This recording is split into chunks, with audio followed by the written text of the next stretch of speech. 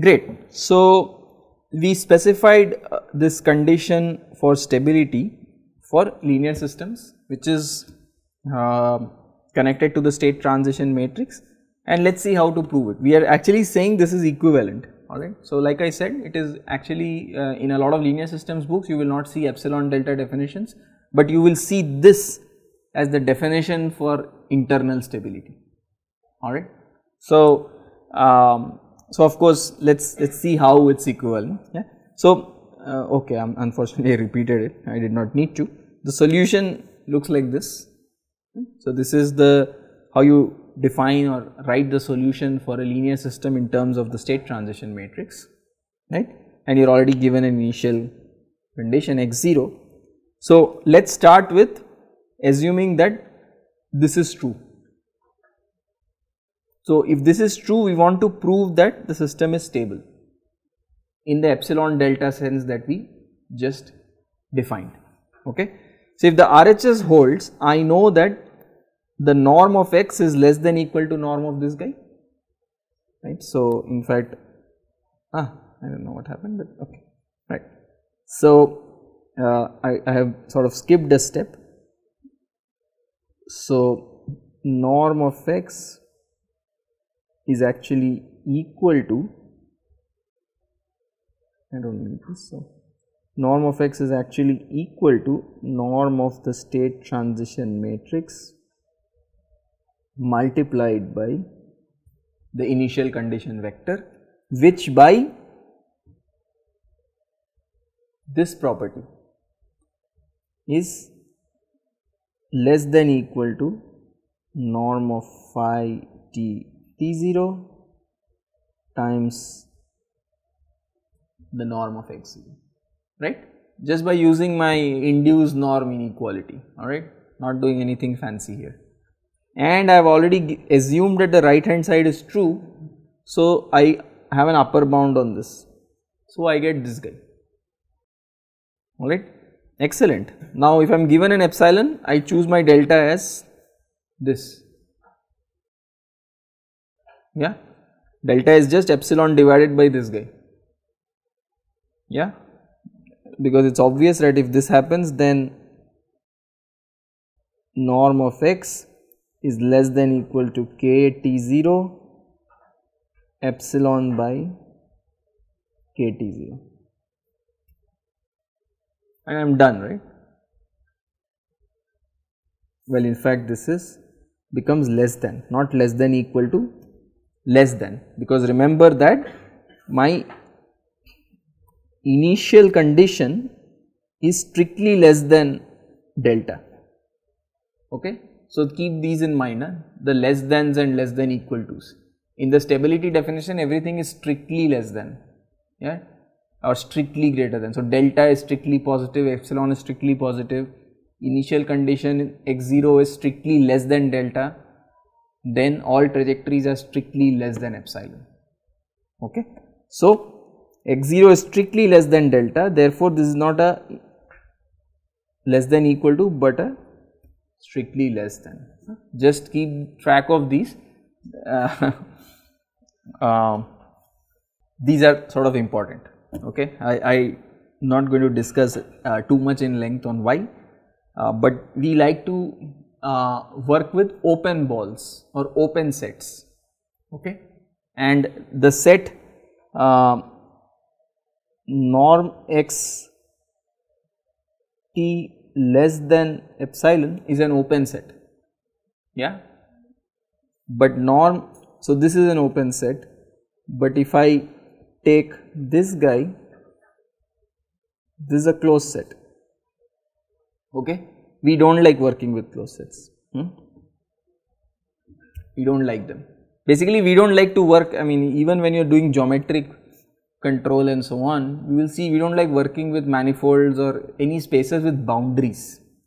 Hmm? So, so as soon as you have something like this, there is a boundary here. Hmm?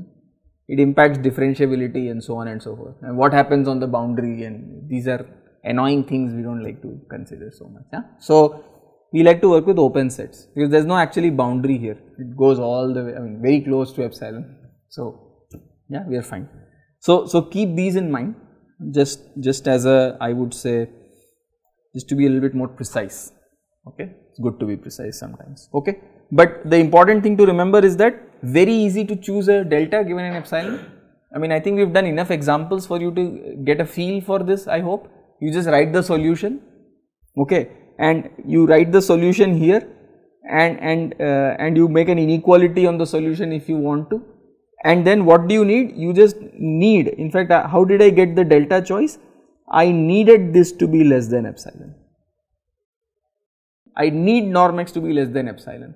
From this uh, I can in fact directly get what I need my x0 to be smaller than right? Because x0 has to be smaller than epsilon over kt0 for this to happen right?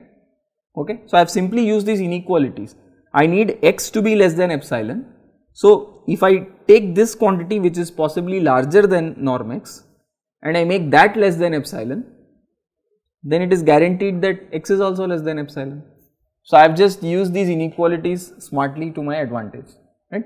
So, this is how I always find a delta given an epsilon. So, if you get a problem on stability this is what you have to do yeah you write the solution and if you have an upper bound on the solution or the solution itself just upper bound it by epsilon and you try to find what is the initial uh, x0 because the solution will always contain the norm x0 itself.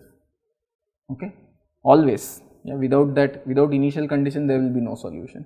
The only thing is in the nice linear case initial condition appears linearly. Yeah? This is one of the outcomes of linearity right? Uh, which will not happen in a non-linear case.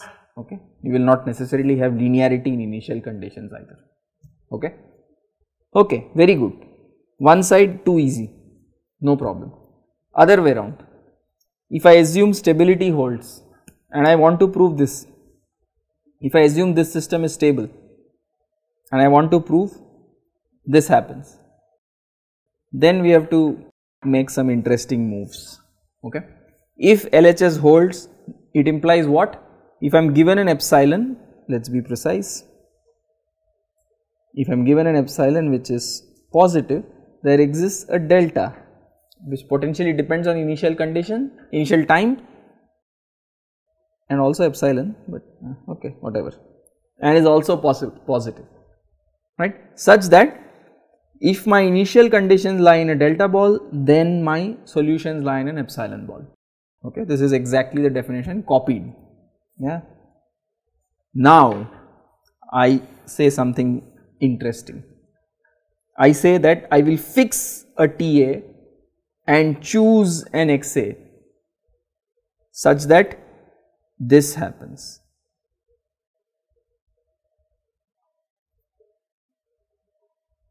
What is this by the way? What is the left hand side? What is the right hand side? What is the left hand side? This guy? What is this?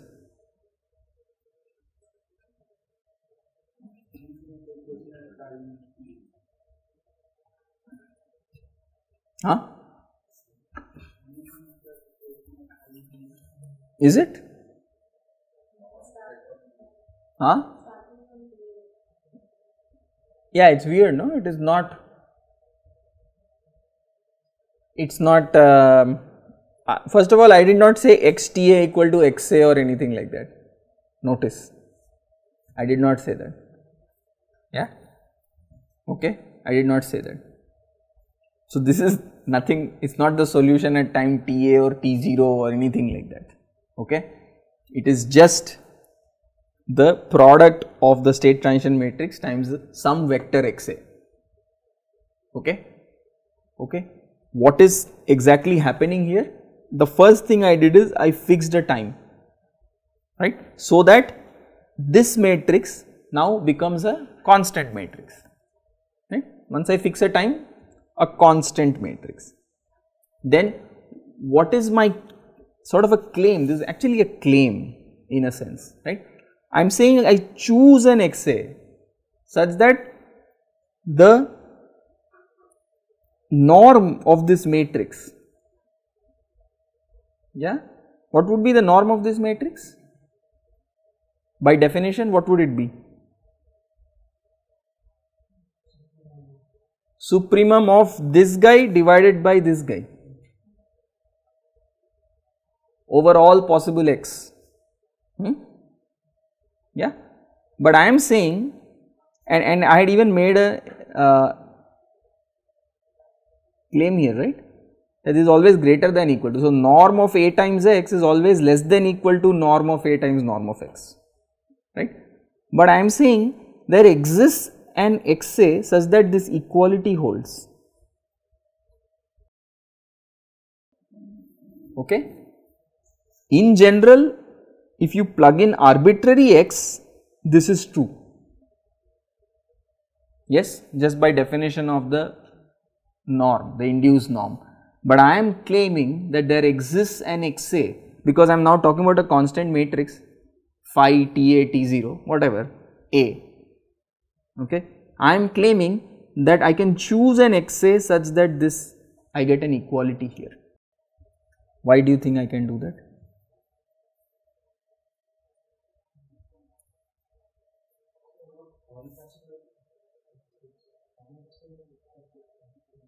Really, I, I took a supremum. You remember the supremum, right? Supremum is like, you know, like least upper bound. Does not have to be in the set and all that. It is the supreme, I mean, we saw these examples, right? 1 minus e minus x, and where it's, uh, and then you are talking about the set which is, uh, uh, so 1 minus, sorry, 1 minus e minus x is what it is?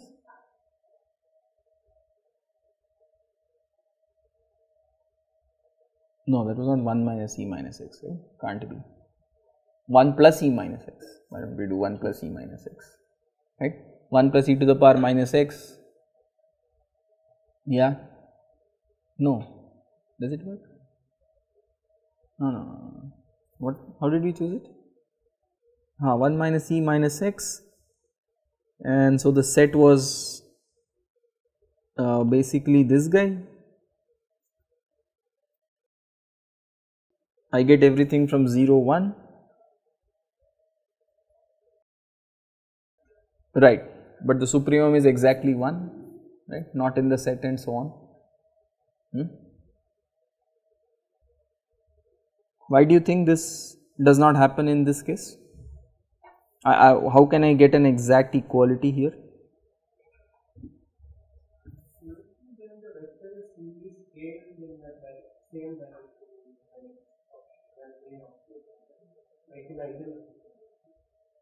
you are saying that is what will give you the the equality. Pretty good. Sort of close to it. Yes. Uh, but that is for a specific p by the way. Um, see if you um, one of the ways to convince yourself I mean none of this is a proof by the way is one of the things to remember is that I constructed a weird set here. Okay? I did something funny I, I made an open it some I did open somewhere close somewhere and things like that. I created a funny set so that it fails yeah. Uh, in this case you are talking about all of Rn okay uh, which is both open and closed right you have all the nice properties that you want in all of Rn okay. The second thing to sort of uh, should help you convince uh, should help convince you is that I have formulae here for norm of A which is independent of x. Right. I mean anyway its supremum is expected to be independent of x. Yeah, but I have some formulae which exactly gives me what my norm is. Okay. So the basically uh, again not a proof. This is not a proof. If you ask me for a proof I will have to hunt for a proof in the sense that it will have to be it has to be based on it it's basically based on the idea that the reals have this nice uh, Banach space type property. Okay? So if I think all of Rn it has a Banach space. It's a Banach space Hilbert space whatever. It has all the good properties which we talked about. Okay? So it's essentially based on the fact that you're taking all of Rn you're not making any funny sets and it's a Hilbert space or a Banach space okay. So, that is why you will always have an xa for which given any constant matrix you will be able to find that equality. So, basically the max and the sup will become the same okay that is what we are saying okay. So, that is basically the idea and that is what you rely on to prove this okay. Once you have such an xa which gives you this equality okay here I have just said that it exists by the definition of induced norm, but it is not as simple as that, it is a little bit more than that just like we said, yeah. Um, once you have such an XA, what is the good thing? You can actually now play with this system, okay. What do we do? We consider this sort of an initial condition, okay do not worry about how this is going. We it will sort of you will close the loop and see how things worked out well for you. Okay? But this is the clinching thing here. Yeah? Once you have such an xa i construct an initial condition. Okay? I construct an initial condition uh, which is this. Okay? What does this give me? If i take a norm it gives me delta by 2 and these cancel out right.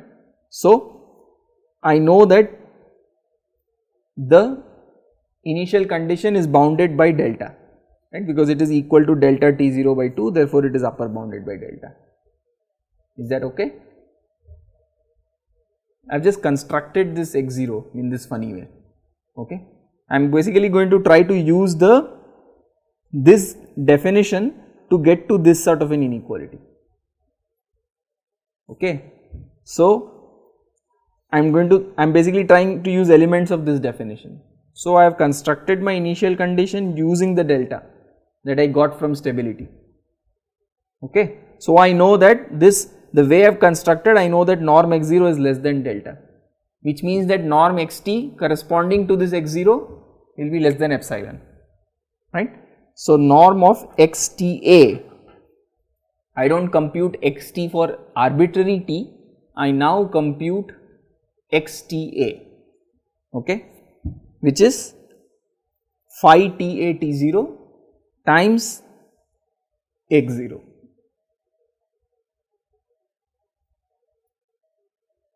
Okay, phi ta t0 times x0. I have chosen this x0 in this interesting way. Okay, again this is a scalar but anyway, this product, the norm of this product is less than epsilon by my stability assumption, right. So, this is less than epsilon by my assumption of stability. This is a scalar goes out okay and this product I have already claimed is actually equal to this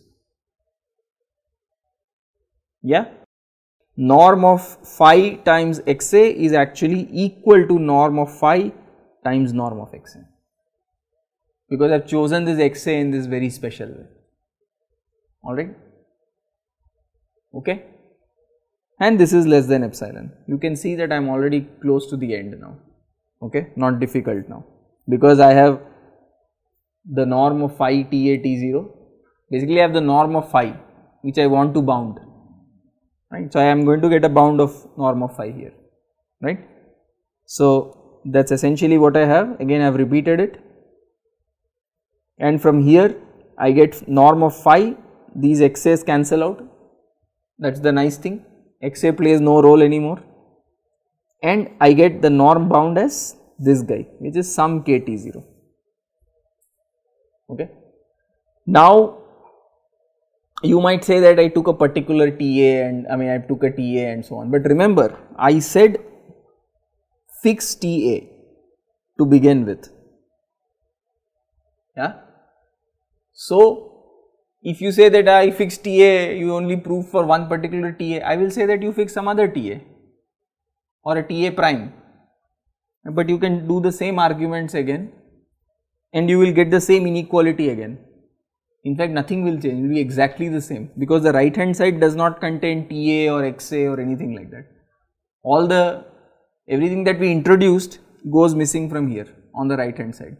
Therefore, you can keep changing this TA to TA prime, TA double prime, triple prime, whatever, different choices of TA, right hand side is not going to change, which means that for arbitrary choice of t this has to hold.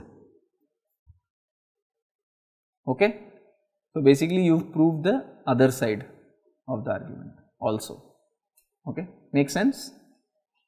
A little bit involved, but the only thing that is important here is the existence of an XA such that this happens. Okay? Alright? All of this works out again because Rn is a very very nice vector space. Alright? If you do not have very nice vector spaces, but in we do not work with the non nice ones again let me be honest yeah uh, because we have already said that we are working with some normed linear space uh, inner product linear space where you have Cauchy convergence is equal to convergence. So, obviously we are already sitting in some very nice vector space. Okay. So, having this kind of a property is actually not so unusual. Okay. So, what about uniform stability? I mean nothing will change. You will you will get the same kind of result. Okay? One side this this to this is anyway too simple because your for uniform stability this k will be independent of t0 right? That is how you will have uniform stability because you sort of remove the dependence on initial, initial time. So, therefore, this will there will be no longer a t0 it will be a just a constant k. Okay? Just a constant k for all t0 alright? And once you have that going from here to here is very easy because uh, k is independent of t0 so delta is independent of t0 done. On the other side also if you see no longer dependent on t0 right? Because you assumed uniform stability so, the delta, uh, so, so this delta is also independent of T0. You started with uniform stability. So, obviously this has no T0 here. Once you do not have T0, your X0 does not have T0, okay, and this guy does not have T0, alright. Here also there is no T0. So, essentially too simple, right? This T0 dependence vanishes here, okay. So, again you get a k which is independent of T0. So, it works out on both sides. Yeah. So, very simple which is why I am not giving a separate proof, but all you have to do is remove the T0s from your proofs. That is it. That is all you do here. Alright. Great. Uh, finally, um, for linear systems, uh, asymptotic stability is actually equal to stability plus this sort of a convergence. Okay. So, attractivity is this guy but this is pretty evident right because if you write the solution you know that as your solution uh, as time increases this goes to 0 therefore whatever be the initial condition your solutions will converge to 0 right. So, this is essentially attractivity in fact global attractivity, but I already said that local global is irrelevant in this context okay. So, if this goes to 0 then initial condition is irrelevant. It is just some scaling constant.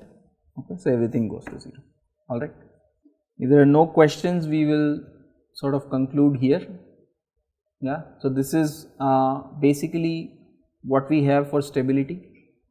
Uh, and um, I believe from next time we will be able to start talking about the Lyapunov theorems. Alright. So, already we will get to the crux of how to analyze stability for nonlinear systems without actually um, solving the system. As you can see very hard, yeah even these conditions phi norm of phi less than equal to kt0 or k are virtually impossible to uh, you know claim anything on without actually solving the system. So, you know so this is uh, something you have to do you you will have to do the Lyapunov theorems without which for nonlinear systems you can't claim anything yeah except with the linearization methods which are restrictive yeah because they do not give you a basin of attraction. Alright okay. Alright so we will we'll start with those from next session. Okay